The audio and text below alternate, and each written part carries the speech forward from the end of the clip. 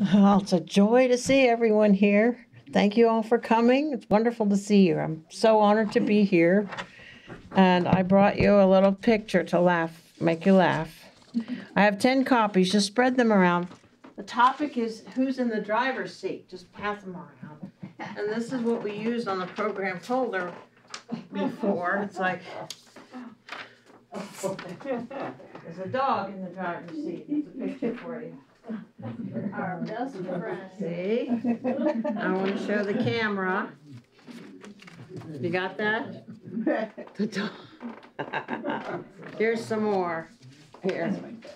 Here, here, here. You have one.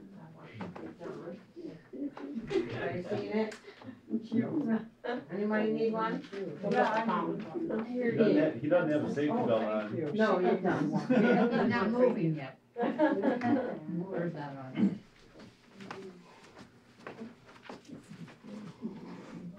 Well, this is an important topic, I think, because it actually deals with consciousness. You know, who's in the driver's seat? What inner voice are you listening to? That is a matter of the consciousness that dwells in you. What are you listening to? How do you choose which impulse to which impulse to to follow? Which which influence to follow? How do you choose? First, there's the conscience. That's that's not even a, even a very metaphysical idea. Everybody's heard of conscience, right?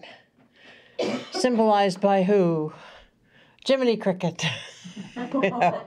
yeah, but no, it's familiar to mainstream thought and a, a, a quotation from uh, Charles Fillmore, who's the founder of Unity.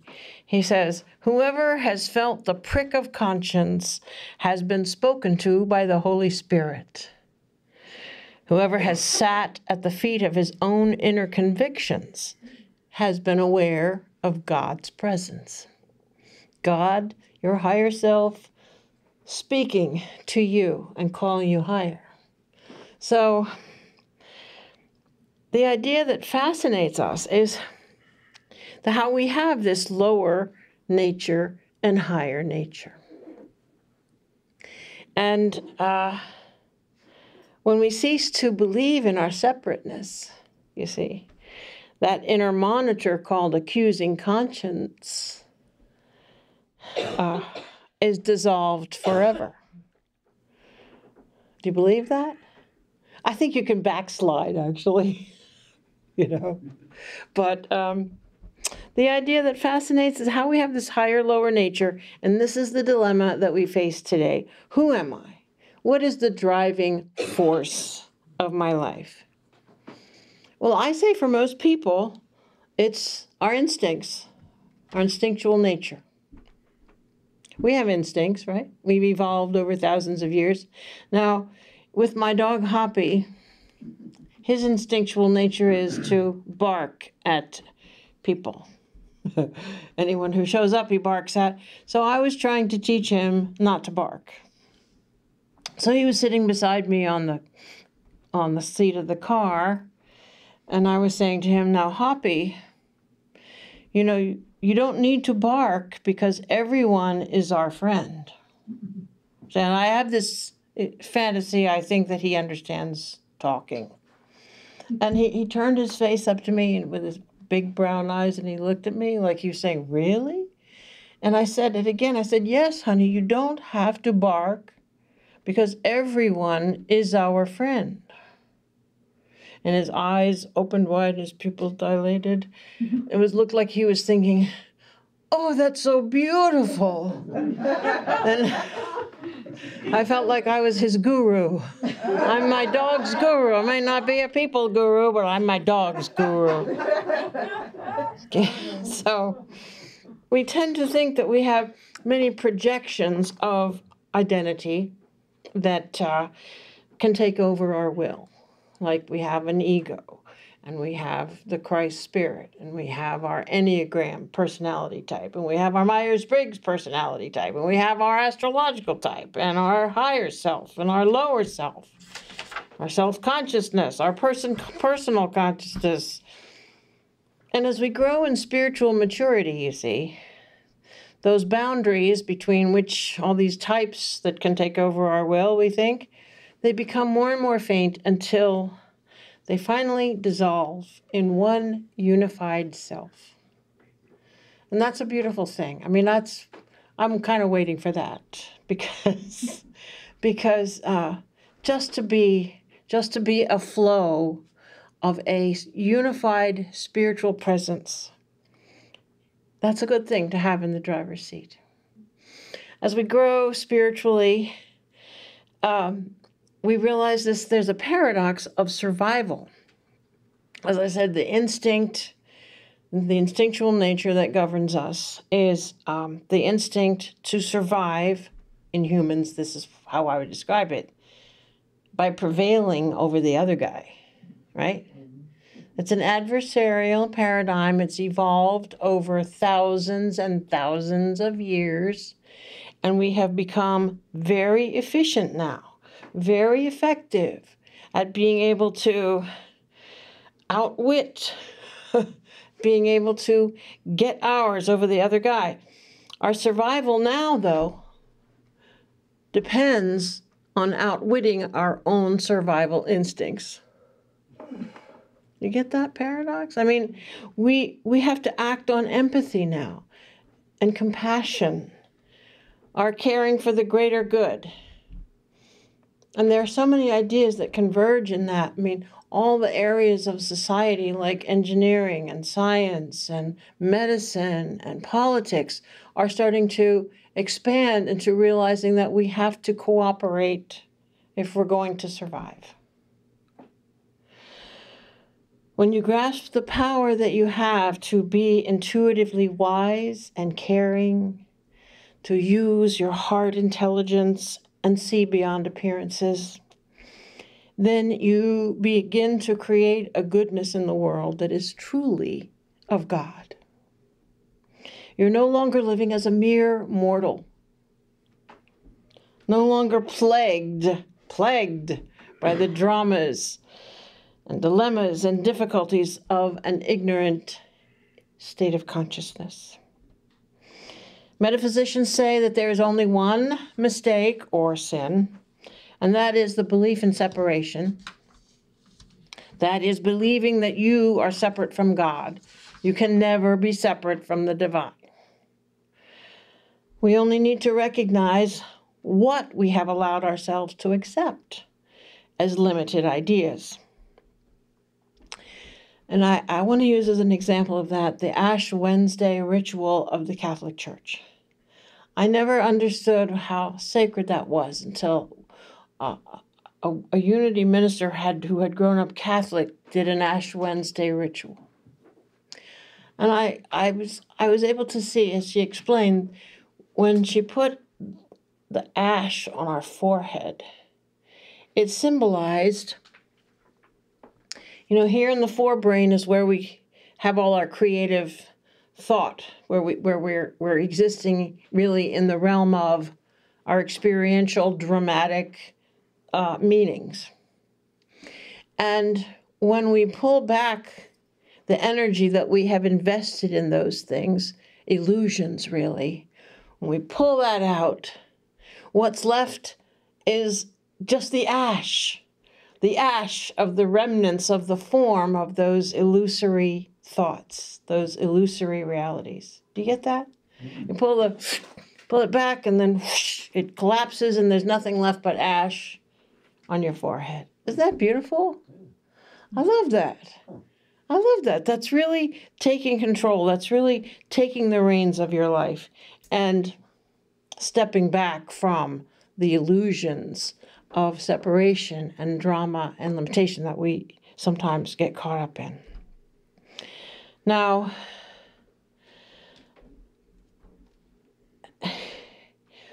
when we retract ourselves from that acceptance to be released from any negative condition, it's kind of like um, using, you know, replacing a negative idea with a positive idea, an affirmation.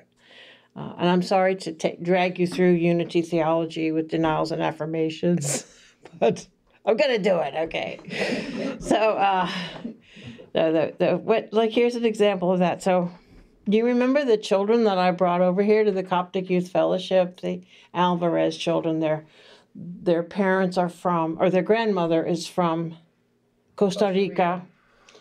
Their parents actually are deaf, both mother and father, and these deaf parents who speak, you know, sign language and, and function very well in society, have good jobs.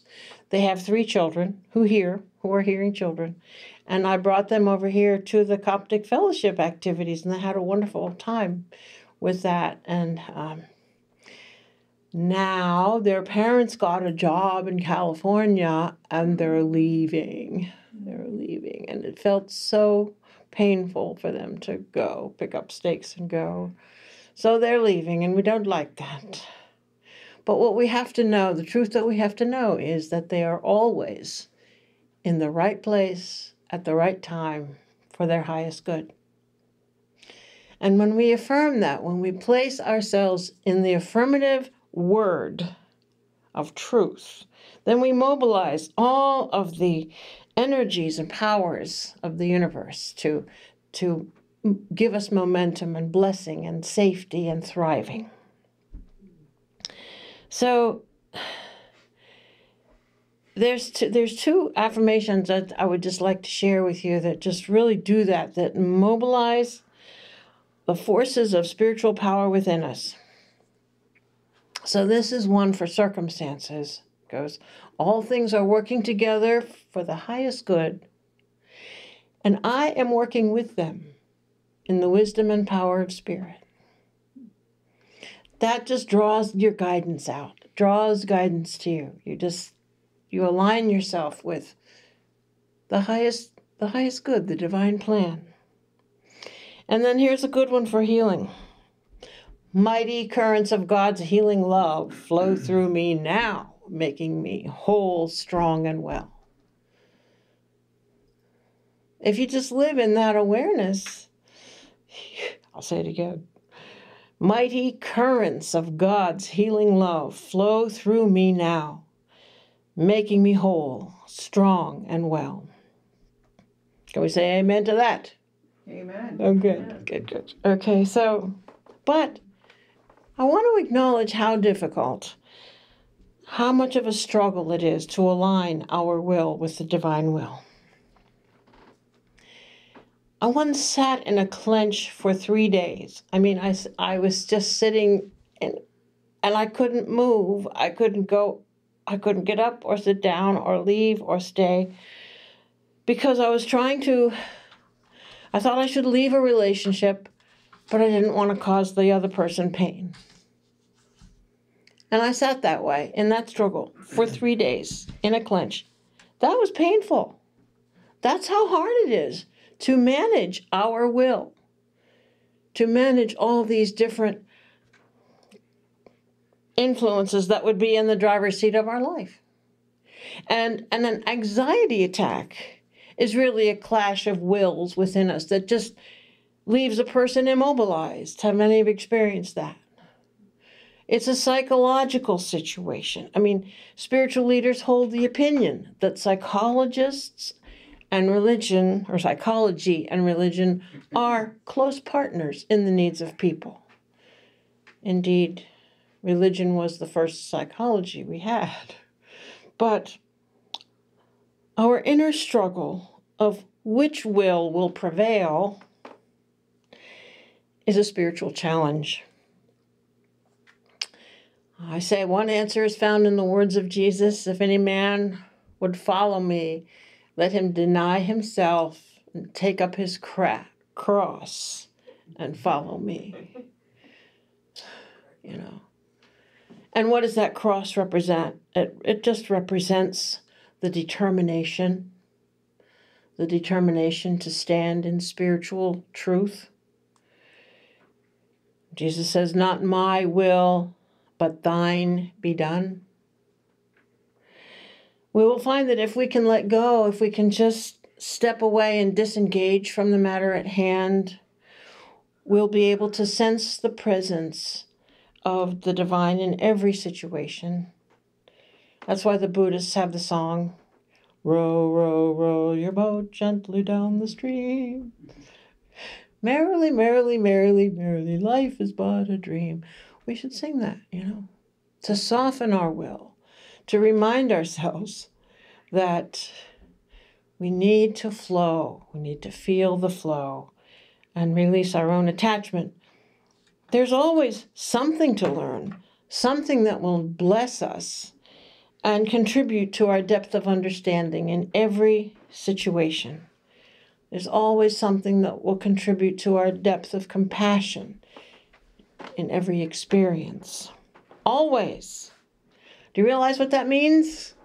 That means that everything that has ever happened to you can, can be considered a blessing.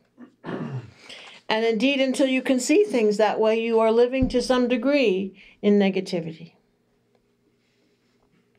Deepak Chopra tells us everything that happens to us happens for the same reason to bring us to a higher state of consciousness. To reach that higher state of consciousness, our work is simply to let our will soften and coalesce with the divine presence that breathes through everything.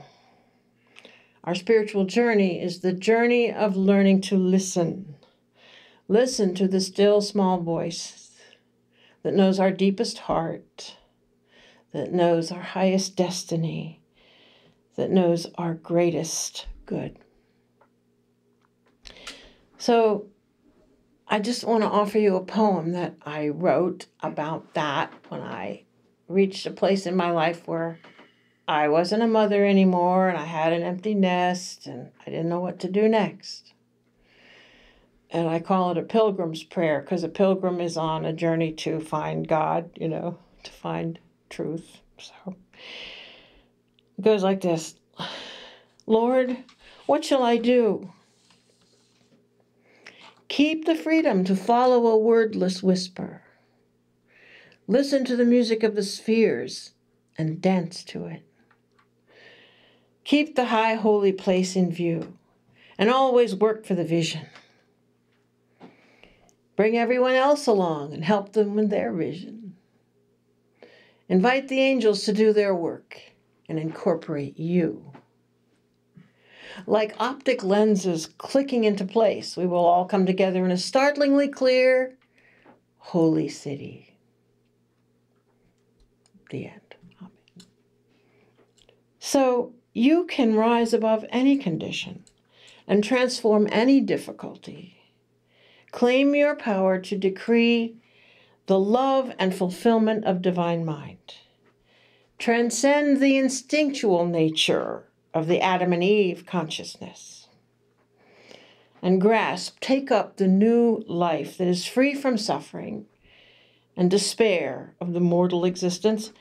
As you find that stream of spiritual strength, you will fulfill your destiny and you will know the true meaning of ascension. Amen. Thank you.